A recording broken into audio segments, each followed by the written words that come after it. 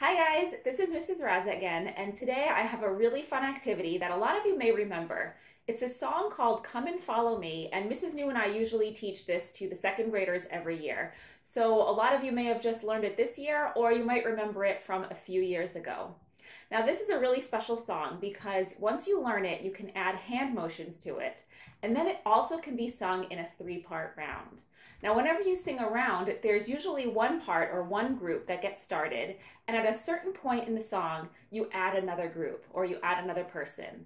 And then as you sing and add all three groups, you create beautiful harmony. And that's one of the words in this song is harmony. So we're going to be creating harmony, and I'll do that here in my living room, and I would love for you to join in and sing along at home. Now, I'm not actually teaching you the song today, so for those first graders out there, if you want to learn this, you can listen to it a few times, and I'm sure you'll get the hang of it. If you already know the song, then you can just sing along with me right as we get started. Come and follow me, singing together as one. Copy everything you see,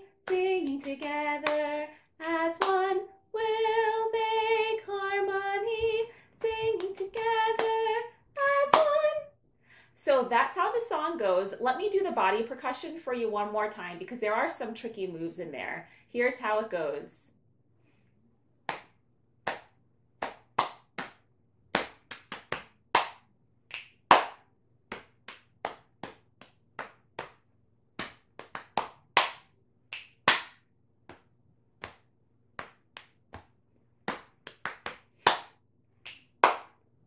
Now, since I'm only one person, of course I can't do the whole round by myself.